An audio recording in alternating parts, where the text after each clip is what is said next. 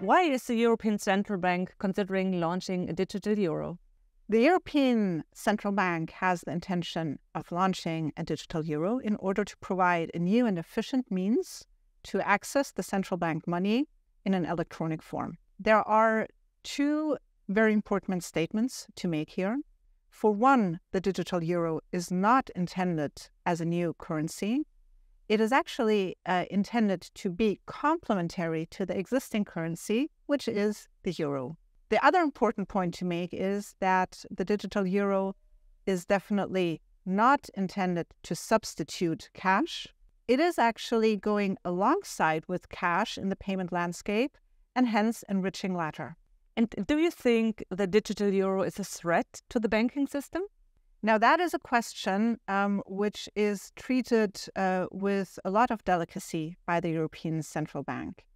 And um, the intention of the ECB is to minimize any sort of uh, threat or potential threat uh, for the banks and for the banking system as such. But the main point being that uh, definitely the banks should rather be supported but not threatened by the digital euro. So, how can we preserve privacy in payment with digital euro?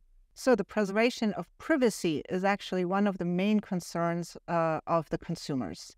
And this is also very well known by the European Central Bank. So, the ECB has the intention of creating um, a system with the highest possible standards uh, in order to maintain and safeguard the privacy. So, having a look on the information shared is one aspect. The other aspect, uh, which is also contributing to maintaining the privacy, is the possibility of offline transactions, which means peer to peer transactions for low value uh, transactions uh, purely offline. Um, so, for one, this completely enriches the payment landscape. Mm-hmm. And for the other, um, this also generates a, level of resiliency mm, at the end. And um, regarding the offline transactions, actually, Worldline has already been working very successfully um, for a prototype together with the ECB, which was launched in 2023 and which has proven to be um, a success under very many aspects. Thank you.